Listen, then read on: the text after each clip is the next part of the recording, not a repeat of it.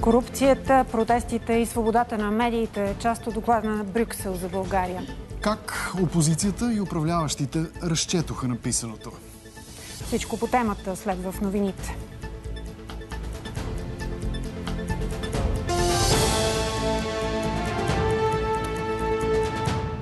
Докладът е положителен, обективен, ясно очертаващ постигнатите резултати от сътрудничеството с Европейската комисия. Опис на държава, управлявана задколисно, корумпирано, безконтролно. Цветана Пиронкова продължава в третия кръг на Ролан Гарос с първа победа, макар и служебна, срещу Серина Уилямс. От една страна съжалявам малко, защото чаках с нетърпение този матч, но от друга страна няма как да не съм щастлива, че продължавам напред. Нова заповед на здравния министр. Публиката се връща на спортните състезания на закрито. Яростен сблъсък в първия телевизионен дебат между Байден и Тръмп. Няма да отговоря на въпроса. Защо няма да отговорите на въпроса? Въпросът. Ще мукнеш ли, човече? Кой е победителят и кои бяха най-запомнящите се моменти?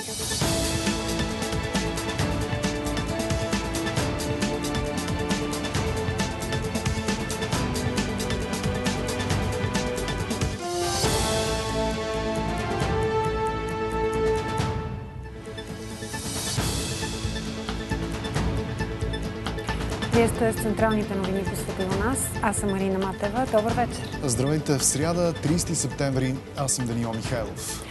Брюксел очаква повече от българските власти в борбата с корупцията, контрола върху главния прокурор и свободата на медиите. Европейската комисия представи днес за първи път докладите по новия механизъм за върховенството на закона. Те вече засягат всички държави членки. Еврокомисията забелязва усилията на страната ни в борбата с корупцията, но очаква повече окончателни присъди по дела за корупция по високите етажи на властта. В доклада се отбелязват протестите в страната, недовършената съдебна реформа и това, че политици притежават медии, въпреки че това не е забранено, са притеснителни. Контролът върху главния прокурор има специално място в доклада. В него е отбелязано още Правосъдната реформа трябва да бъде завършена, като се вземе предвид становището на Венецианската комисия по отношение на отчетността на главния прокурор. Докладът констатира, че са започнати разследвания и са повдигнати обвинения за корупция по високите етажи. Липсата на резултати в борбата срещу корупцията обаче е една от основните теми на протестите в страната. Липсата на прозрачност по отношение на собствеността на медиите е притеснителна. Има установени връзки между политически актьори и медии.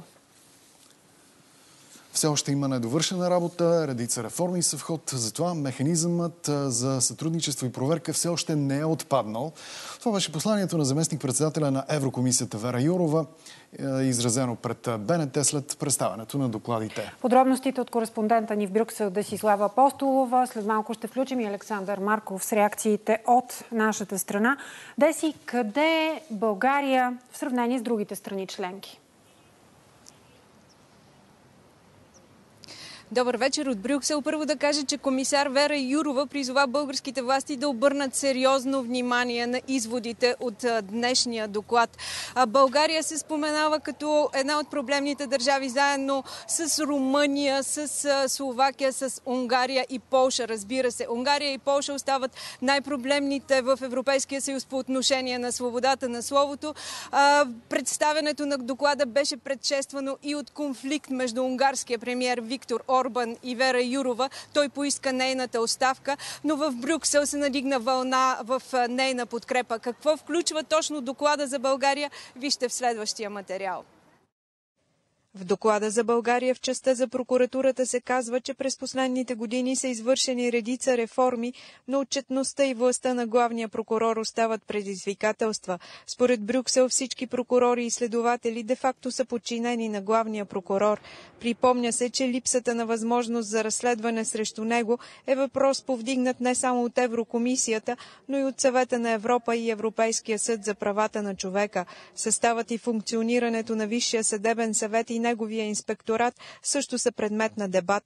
Във връзка с борбата с корупцията, като положителен елемент се отчита подобреното сътрудничество между органите, които се занимават с това.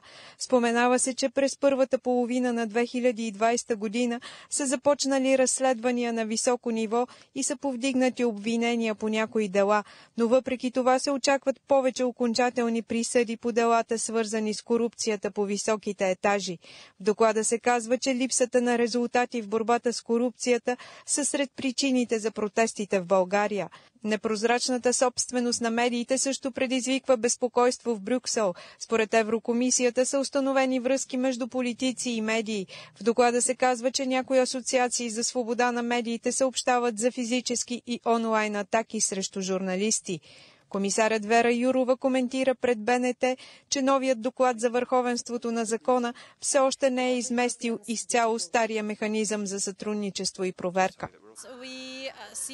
Все още виждаме недовършена работа. Редица реформи са в ход. Имаме много интензивно сътрудничество между комисията и съответните експерти.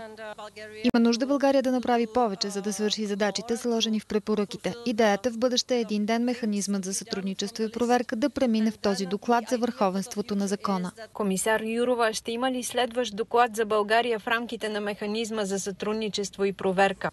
Зависи как България ще се справи с препоръките. Целта на новия механизъм е превентивна. Той няма да заменя другите инструменти, с които Брюксел реагира на по-сериозни проблеми, свързани с върховенството на закона в държавите членки. Крайно време е да имаме инструмент, с който да откриваме проблемите, свързани с върховенството на закона и да ги предотвратяваме. Докладът, който представяме днес е нов инструмент, който ще ни помогне да го правим. Докладът е обективен и включва положителните и отрицателните елементи и трябва да служи като основа за диалог между държавите членки. Докладите са изготвени в тясно сътрудничество с държавите членки. Очаква се докладите за страните да станат основа за преговори между европейските институции при обвързването на върховенството на закона и получаването на евросредства от европейския бюджет и фонда за възстановяване. България и ситуацията в страната ни ще бъдат обсъждани в пленарната сесия на Европейския парламент следващата седмица, а доклада за България ще бъде един от петте, които ще бъде обсъждани от всички европейски министри на съвета по общи въпроси. Деси, благодарим ти от Брюксел, Десислава Постолова. Реакциите у нас. Докладът на Европейската комисия за България е обективен и положителен, отчете правосъдният министр. Десислава Хладова заяви, че страната ни ще изчака становището на Венецианската комисия относно конституционната реформа. Опозицията определи изводите в него като опис на държава, която се управлява зад колисно, корумпирано и безконтролно. ГЕРБ пък определи доклада като потвърждение на необратимостта на реформите у нас. Александър Марков сега с още реакции. Добър вечер, Сашо. Да, здравейте. Доклада на Европейската комисия предизвика разнопосочни реакции. В България правосъдният министр Десислава Хладова посочи предимно положителните констатации в него, а именно Брюксел учел, че България провела антикорупционни акции срещу министри, заместник министри кметове на общини, срещу някои от които предстои да бъдат повдигнати обвинения. Хладова заяви също така, че правителството ще изчака препоръките на Венецианската комисия относно проекта за нова конституция и относно проекта за промени в наказателно-процесуалния кодекс и закона за съдебната власт, които уреждат статута на така наречения специален прокурор. Той трябва да има правомощите да разследва главния. Опозиция управляващи очаквано се разминаха в оценките си и според БСП определи доклада като цитирам доклад на загубеното време, тъй като през последните 4 години левицата отправила идентични критики към управляващите и ГЕРБ видя в документа потвърждение на резултатите от борбата с корупцията у нас. Всъщност днес в София, ако има сред политиците консенсус относно този доклад, то той е, че документа е обективен. Вижте още реакции. Минути след оповестяването на евродоклада, правосъдният министр Десислава Ахладова посочи една от ключовите констатации в него – акциите срещу лица по високите етажи на властта.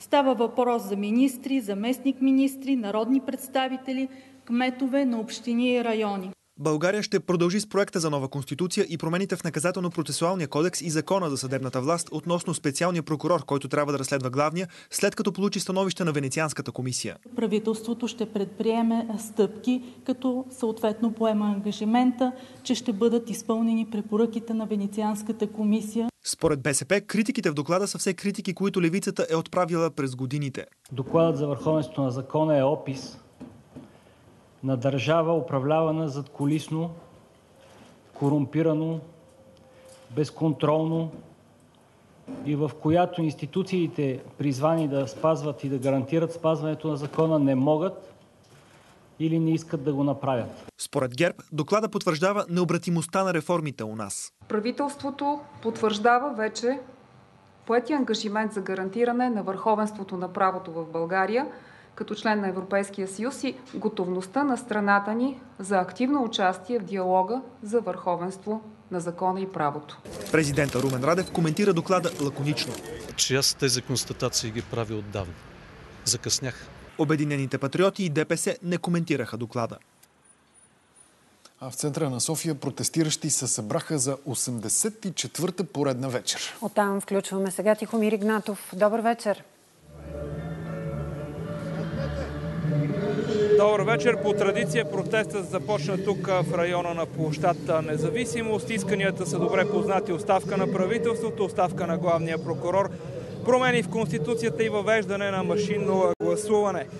Каква е обстановката тук към този час? Виждате картина в момента. По-рано днес пред съдебната палата отново имаше протест срещу главния прокурор Иван Гешев, организиран от правосъдие за всеки. От трибуната на протеста се чу остра критика към работата на прокуратурата, както и на Висшия съдебен съвет.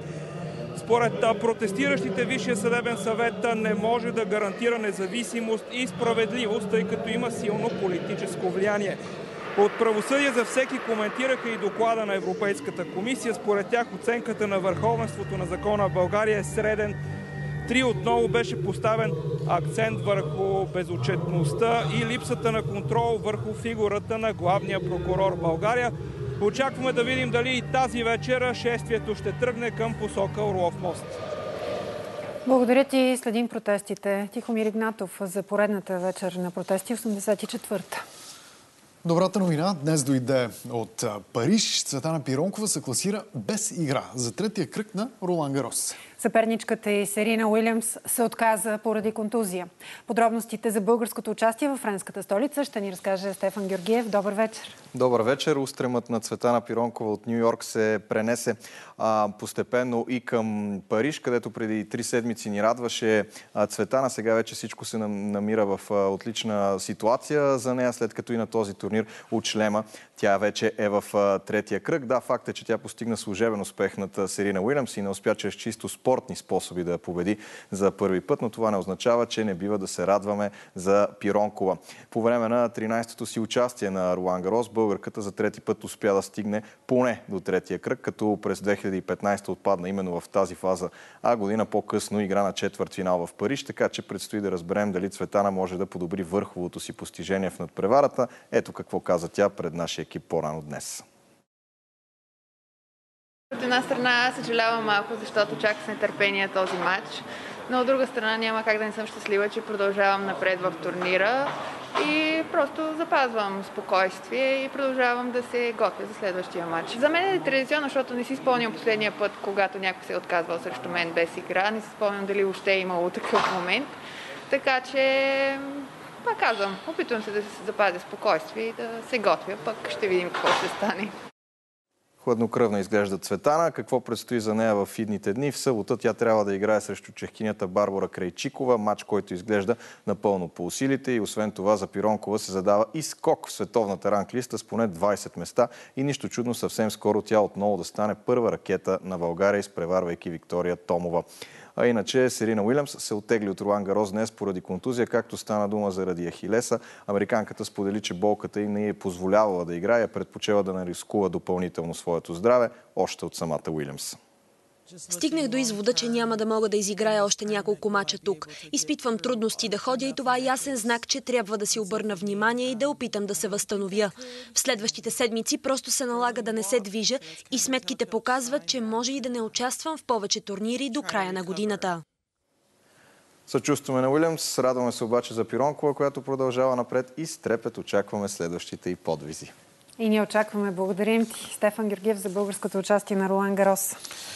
За съжаление, към а, корона кризата сега, ново огнище на COVID-19. В Търговище 29 души са заразени в частен хоспис. Според главния здравен инспектор, ръстът на заболелите в последните седмици е с една трета. Пред БНТ той отново повтори, че не очаква училищата в страната да бъдат затваряни, а затягане на мерките поне на този етап не се налага. Процентът положителни ПСР тестове и днес обаче остава притеснително висок. А ето как изглеждат данните днес. 5,8 на 100 са положителните проби за COVID-19 през последното денонощие. 276 са общо новозаразените при направени 4736 ПСР теста.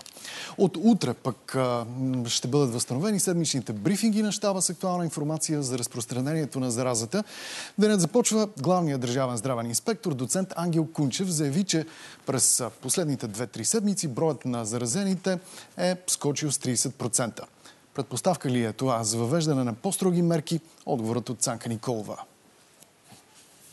Затваряне на училища на национално ниво заради коронавирус няма да има. Към обучение в електронна среда за 14 дни ще минават само отделни паралелки, в които е имало носители на заразата. А когато се установи, че няма нови случаи и всички контактни са отрицателни, учениците ще се връщат в клас. Ако са засегнати няколко класа, тогава вече може да преминаваме към затваряне на отделно училище. Ако пък е много висока заболеваемост, тогава вече може да говорим за затваряне на училища в населено място или в отделен регион, ако заболеваемостта е много голяма. Ако има изцяло електронно обучение, то ще бъде по време на грипната епидемия през януари или февруари, категоричен е доцент Кунчев. Едва ли ще се стигне отново и до затваряне на градове и въвеждане на КПП-та. Но главният държавен здравен инспектор напомня, че за ограничаване на заразата е важен не толкова контролът, а по-скоро самодисциплината на хората. Вижте, няма как на 7 милиона народ само чрез контрол ние да наложим носенето на маски. Всеки има глава на раменете, може да прецени това важно ли е за него или не, отговорен ли е към останалите, защото забележете, носенето на маска по-скоро е отговорност не към собственото, а към чужото здраве. А сутрин в час пик в градския транспорт във Варна автобусите са препълнени. За това сигнализираха зрители на БНТ. Хората не смятат, че е уместно да се возят притиснати един в друг, в условия на пандемия, на фона на призиви от страна на лекарите за спазване на дистанция. Имам, да, притеснение. Въпреки, че слагаме маски, но все пак съществува риск. В градския транспорт в столицата обаче картината е обнадеждаваща. Пътниците, особено по най-натоварените линии, изглеждат стриктни. Носят горе-долу. А правилно ли ги носят, защото виждаме по-често? Не ги носят правилно. Мисля, че тези малките ученици не носят. По-малките ученици. Те по-смятат, че са недосегаеми. Нашите мерки са в тази посока да се повиши максимално дисциплината на гражданите и на нашите служители, разбира се, за да може да се пазим взаимно. По данни на Центъра за градска мобилност от 23 юни до момента в градския транспорт са съставени 140 предупредителни протокола и над 60 акта за административни нарушения. Проверените превозни средства са били над 2500, а инспекциите през следващите месеци ще зачестят. И за новото огнище на COVID-19 сега, то е в частен хоспис в Търговище. Заразени са 29 души, 7 от тях са от персонала. Предполага се, че вирусът е достигнал до социалното заведение от заразен служител. В хосписа живеят 38 възрастни. От март не са виждали близките си, защото свижданията са забранени. Въпреки това, коронавирусът е проникнал в социалното заведение преди седмица. Първият случай е на заразен служител, който се грижал за хората. От тях 22 са с положителни проби за COVID-19. Не са толкова с тежко състояние, но предвид възрастта, предвид това, че са все пак с съпътстващи много заболявания, Всичките те са изолирани на първия етаж в сградата. Хосписът се намира в сградата на бивш хотел, което е улеснило изолацията. За да не заразят близките си, персоналът също е останал под карантина в дома. На всеки етаж има по 20 стаи, с... така че те са настанени почти всички в самостоятелни стаи с самостоятелни санитарни възли. За момента ситуацията е овладяна. Очакват се резултатите от вторите ПСР тестове на всички в хосписа. Осигурили сме, както видяхте в момента и предпазни средства, защитни облекла. Ако състоянието на заразените се влуши, болницата в Търговище е в готовност да ги приеме. В момента в нея се лекуват 22 пациенти с коронавирус от областта. Още за мерките в борбата с коронавируса, утре сутрин в денят започва. За пенсиите сега добавката от 50 лева пенсионерите ще получават поне до март до година. Това каза социалният министр Деница Сачева. Сумата е определена на база данни, според които месечният разход на един пенсионер за лекарства е 56 лева. Все още не е ясно с колко ще бъдат увеличени пенсиите през 2021 година. Обсъжда се възможност за скок на минималния и максималния осигурителен доход с процента на повишение на минималната работна заплата. Правителството иска да подкрепи всички пенсионери и да запази солидарния модел на системата, каза социалният министр. Най-благоприятният вариант е да минималната пенсия да стане 300 лева, а максималната 1400. Принципът ще бъде така, че всички пенсионери да могат да получат различна, различен вид увеличение. За момента не е обсъждано увеличение на заплатите в бюджетния сектор през следващата година. Това, което сме обсъждали в хода на бюджетната процедура е възможностите на бюджета. Нека да видим какви възможности ще има за увеличение на заплатите на общинските администрации, защото те действително в момента изостават значително повече спрямо останалите. Извън бюджета за 2021 година Сачева каза, че са предложени промени в закона за хората с увреждания. Те предвиждат месечна финансова подкрепа да се отпуска без индивидуална оценка на потребностите. Отпада това, което е излишно, защото то не само, че затруднява, но той забавя процеса на отпускане на финансова помощ. Антуанета Витева е майка на млада жена с епилепсия. Доволна е от предложението за промяна. Всяка бумащина, която ни се спестява, за нас е едно голямо облегчение, защото а, всичко, което е свързано с а, един човек с увреждане, което се урежда чрез социалните служби, малко или много ни затормозява. Оценката на потребностите остава при кандидатстване за лична помощ, целева помощ за преустройство на жилище и покупка на автомобил от човек с увреждания. Предвижда се преобразуването на Агенцията за хората с увреждания да бъде отложено с една година. И още за това, което предстои за доходите ни до година в предаването Бизнес БГ от Илина Бисерова. Здравей! Добър вечер. Какви средства трябва да заложим сега в държавната сметка, за да намалим удара върху бюджета до година? Дългове и дефицит ще обсъдим с бившия економически министр Асен Василев. И още, що е то зелена сделка? Съдбата на въглешните централи? Ще плащаме ли по-скъп ток и рисковете пред региона около Стара Загора и съдбата на 22 000 души, чиято работа е свързана с мариците? Дискусия в студиото. Започваме веднага след новините. Илина Бисерова за предаването Бизнес БГ. Началото е в 21.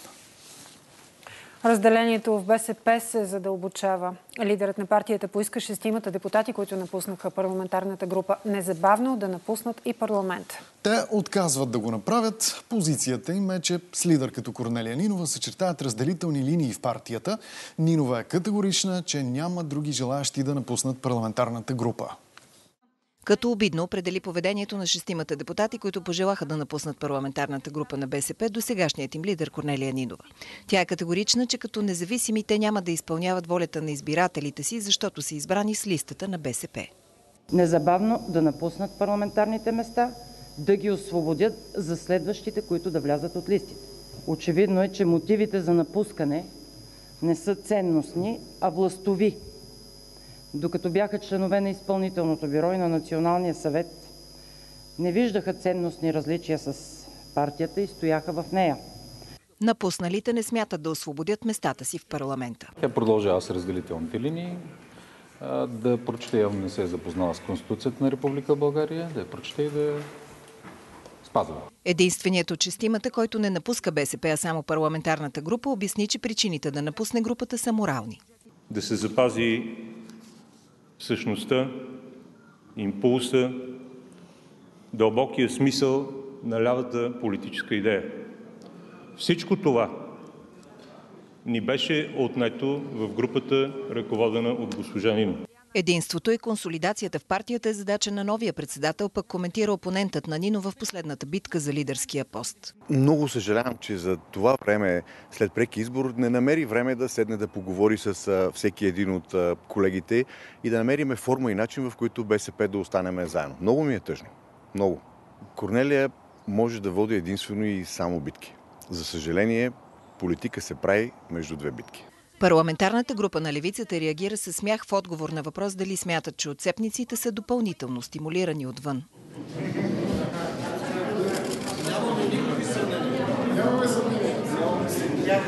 И Корнелия Нинова и напусналите я отправиха предупреждение към журналистите да наблюдават кой от тях всъщност е истинската опозиция на управляващите.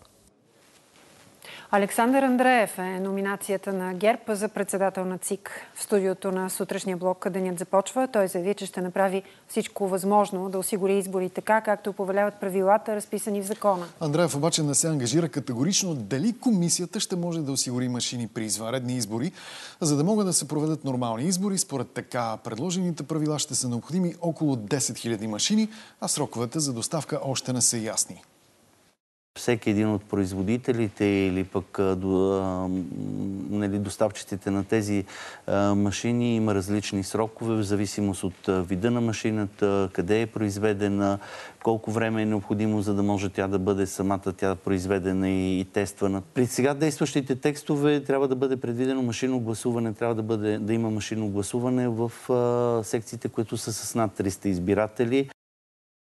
Премиерът и военният министр да бъдат изслушани в парламента. Дали са договаряли зад гърба на Народното събрание доставката на нови 8 изтребителя F-16 с Lockheed Martin? Затова призва лидерът на БСП. Министърът на отбраната отговори, че никой не се готви да купува нови самолети, а само отправено запитване към американската страна за възможна доставка, ако следващото правителство и парламент преценят, че може да се осъществи. Той и президентът Румен Радев откриха международното отбранително изложение Хемос 2020 в Пловдив. Според лидера на БСП скандално парламентът да разбира от медиите, че се водят преговори за закупуване на още 8 изтребителя F-16 и призова премиерът и военният министр да дадат разяснение. Да дойдат в парламента и да отговорят. Не само на народните представители, а на българското общество. За какви параметри на сделката става дума? Кога се предвижда тя да, се, тя да започне? На каква стойност и за какъв срок? Предвижда ли бюджета за 2021 година средства за финансирането на тази сделка? Искаме да питаме министър-председателя 5 милиарда заем от миналата седмица за това ли са? Военният министр обясни, че става дума за поръчка по същия проект за доставка на изтребители, който е бил подкрепен от всички парламентарни сили, включително и БСП. Проектът е гласуван за 16 самолета. Първите 8 са при тези условия, следващите 8 ще бъдат при различни условия. Надявам се, че при различни цени.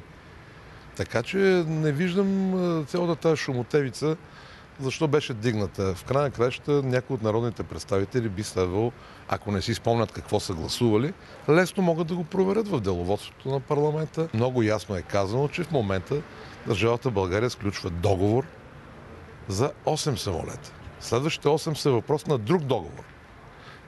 И тези, както ви е известно, договори не стават с размяна на писма, а стават с процедура, която минава през Министерски съвет, минава през парламент, където се гласуват средствата. Командирът на ВВС, генерал-майор Цанко Стойков, обясни, че става въпрос за следващ етап от един и същи проект. Това е втория етап, втората фаза за модернизация на българските ВВС.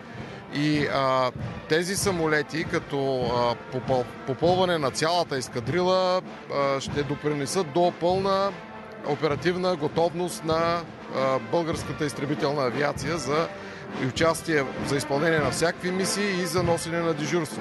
По-рано днес президентът и военният министр откриха отбранителното изложение Хемос, а при пристигането на държавния глава група граждани протестираха пред панаира. Очаквам Министерството на отбраната след дълги години на тежки финансови ограничения ще се обръща все повече към родната отбранителна индустрия и то не само за доставка на боеприпаси и въоръжение – а за внедряване на нови технологии и научни разработки. Очакваме българската държава да подкрепя още повече тази индустрия чрез облегчени условия за производства и стимулиране на реализацията на продуктите. Държавният глава разгледа и конкуриращите се бойни машини, които станаха на финалната права в конкурса за нови БТРи на армията, представени за първи път едновременно у нас. Така изглежда бойната машина на General Dynamics, а така изглежда конкурентната машина Патрия на финландската компания. Ценовите оферти ще бъдат отворени на 2 октомври.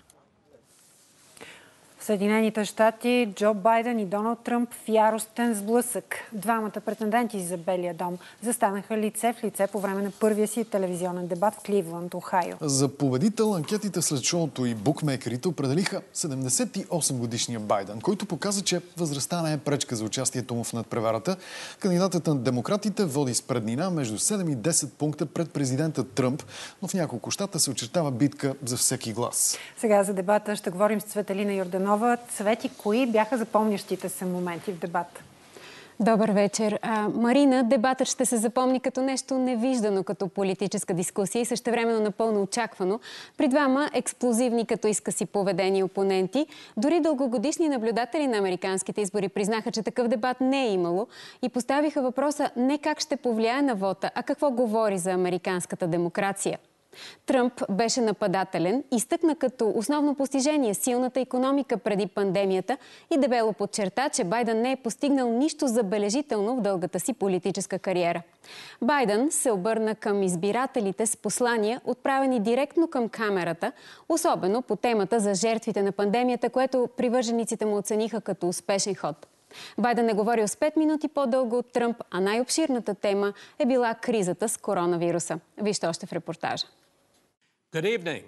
Дебат на висок глас, хаотичен, накъсан, с обиди и лични нападки, с постоянни нарушения на регламента, често дразнещ за зрителите, без ръкостискане и без излишни прояви на джентълменство. От самото начало до 90-та минута президентът Тръмп приложи очакваната си тактика да прекъсва постоянно опонента. Резултатът – говорене един върху друг и на празни опити на водещия Крис Лолас да въведе ред. Няма да отговоря на въпроса. Какъв е въпросът? Защо няма да отговорите на въпроса? Въпросът е... Искате да увеличите е- броя на съдиите във Върховния съд? Е... Ще мутнеш ли, човече? Искри прехвърчаха по всички теми. От економиката, расовото неравенство, Върховния съд и данъците на Тръмп до пандемията от COVID-19. Вие щяхте да загубите повече хора. Много повече хора. Щяхте да се забавите с месеци. Много хора умряха и още много ще умрат, освен ако той не стане по-умен и по-бърз. Той не може да ви отнеме възможността да определите изхода от тези избори. Ако победя, ще го приема. Ако изгубя, ще го приема. А той, между другото, казва, че не е сигурен какво ще приеме.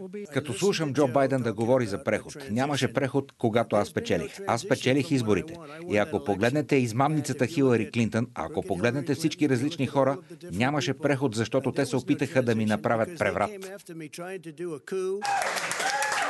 Тръмп постави под въпрос интелигентността на Байден, който пък го нарече клоун. Дебатът в Кливланд беше първият. До вота на 3 ноември има още два.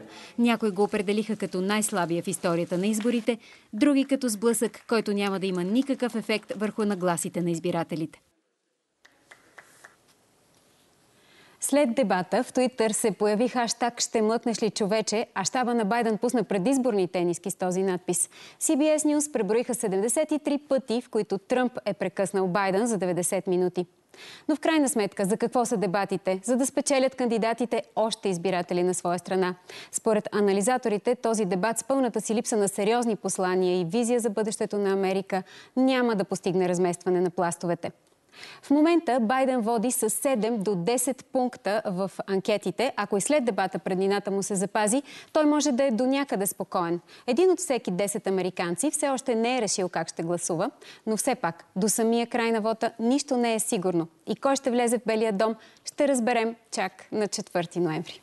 Благодарим ти. Светелина Йорданова за първия дебат преди президентските избори в Съединените щати. И още от света, съюзниците в НАТО, Франция и Турция си размениха гневни реплики за конфликта в Нагорни Карабах, където четвърти ден продължават ожесточени сражения с десетки жертви между сили на Азербайджан и етнически арменци. Не стихват опасенията, че може да се стигне до мащабна война между Азербайджан и Армения, в която да бъдат въвлечени Русия и Турция. Съветът за сигурност призова за незабавно прекратяване на огъня. Реван съобщава за три цивилни жертви и азербайджански обстрел по цялата фронтова линия, но отрича твърдения на Баку, че в Нагорни Карабах използва ракетен комплекс .у. Премиерът Пашинян за сега не планира да поиска руска помощ в рамките на двустранен договор за сигурност, но и не вижда възможност за преговори с Азербайджан. Трудно може да се говори за преговори, особено когато са в ход активни военни действия. Първо, насилието трябва да спре и Азербайджан да приеме факта, че няма военно решение за Нагорни Карабах. Азербайджан съобщава за общо 14 цивилни жертви и обяви, че ще се сражава до пълното изтегляне на арменските сили от негова територия. Президентът Илхам Алиев категорично отхвърли твърденията на Ереван, че турски F-16 е свалил арменски Су-25. Баку говори за катастрофа на две арменски машини.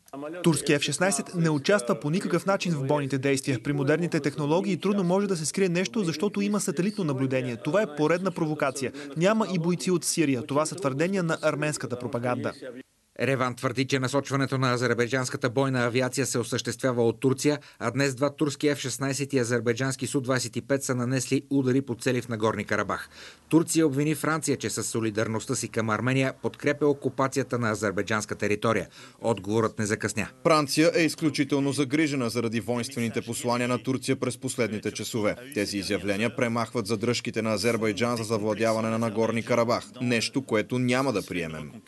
На предстоящата си среща на върха Евросъюзът ще се обяви против намесата на трети страни в конфликта в Нагорни Карабах, заявил пред репортери високопоставен представител на Брюксел.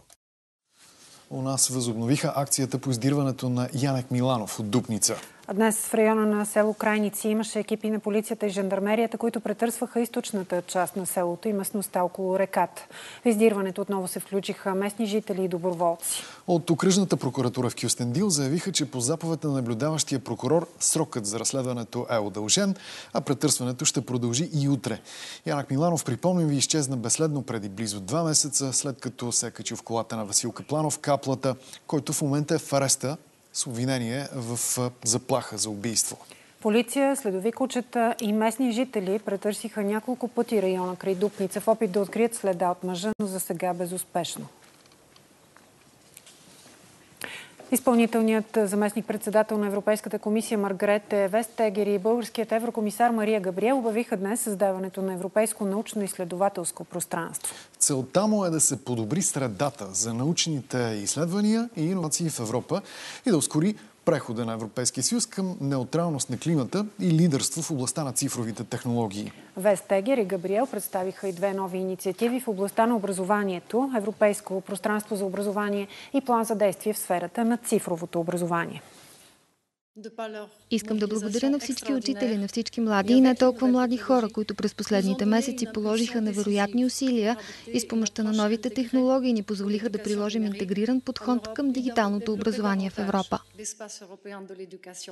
Обучени кучета помагат на болни от диабет. Днес се дипломира първият випуск лабрадори, които могат да надушват хипогликемична криза при диабетиците и много по-рано от измерващите уреди да ги предупреждават за нея.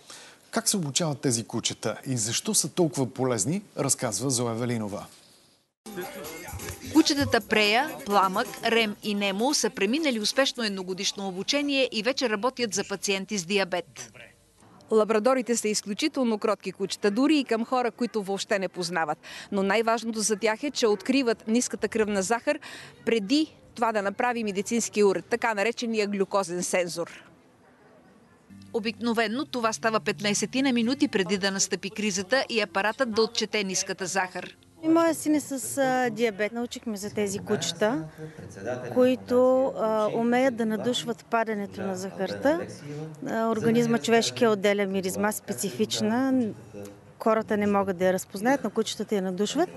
В такава ситуация това е за прея е като команда самата миризма и тя започва да побутва с муцо на първо детето, след което идва и почва да бута мен. Мони, вие сте си много близки с Прея. Да. От колко време я имаш у вас? Миналата година пристигна, когато бях ам, когато запътнах първи клас. Вече много ми показва, когато имам хипо. Бута ме по крака. А това е много важно, тъй като една от най-големите опасности за диабетиците е падането на захарта под нормата по време на сън. Хипогликемичната криза е изключително опасна, защото може да доведе до увреждане на мозъчните клетки и затова тези кучета са много полезни. Те могат да доведат до спасяване живота на детето. От фундация Очи на четири лапи се надяват да разширят проекта и в други градове на страната. Вече два месеца жители на столичния район Горна баня чакат да бъде отстранена авария в канализацията, която руши настилката по улица в квартала. Проблемният участък се намира в близост до минерален извор. Майя Димитрова провери случая. Извира, извира. Да, да, да, да. Това е улица 637 през август. При силен дъжд става река. Направо река става. Говоря за поне метър широко и буйно. Минава през целия парк, минава през чешмата, дето идват хора от цяла София да си наливат вода и по едната улица стига чак до около връстото. За да не потече отпадната вода към друга улица, жителите на 637 са я преградили с павета. Един комшия пропадна с колата вътре. Всичко отиде по дяволите и бълва като, като река. Мръсна вода. Това е минералният извор, пред който се оттича водата. Проблемът с канализацията на Горна баня е от десетилетия. Тя е изградена преди 40 години и на практика, според общината, е незаконна. В годините хората са изграждали незаконни канали, включвали се в съществуващи колектори или в дерета и тези нерегламентирани канализации не са приети в експлоатация от Софийска вода. Софийска вода отказа поддръжката им. В момента кой отговаря за тази действаща канализация? Никой на практика не отговаря. Районът е в регулация и там следва да бъде изградена законна канализация. От Софийска вода потвърдиха, че не приемат за експлоатация съществуващата, тъй като не отговаря на изискванията. Според районния кмет, хората имат право да се оплакват, тъй като това не е първата авария. Писали сме няколко писма до столична община за нея, защото ние нямаме а, такъв конкретен бюджет за решаване на такъв тип а, казуси. Днес от столична община са размислили. Буквално от днес имаме уверението, че ще бъдат отпуснати средства. Аварията ще бъде отстранена, обещаха от район Овча Купел, но решение на по-големия проблем за сега няма. Изграждане на нови канали в Горна баня не се предвижда и следващата година. А в Пловдив от няколко дни кози се разхождат в един от кварталите на града. Как са се озовали там? Репортаж на Нели Ангелова. Отглеждането на селско-стопански животни в Плодив е забранено с изключение на два от крайните квартали. Прочулите се кози са забелязани в двора на математическата гимназия и на други места в непосредствена близост до един от кварталите, но за сега не се знае чии са. А Диана ги вижда на етажа в хода, където живее. В момента, в който отворихме вратата и аз вече изпращам синовете ми, тя се появи пред нас. Буквално пред нас се появи козичката.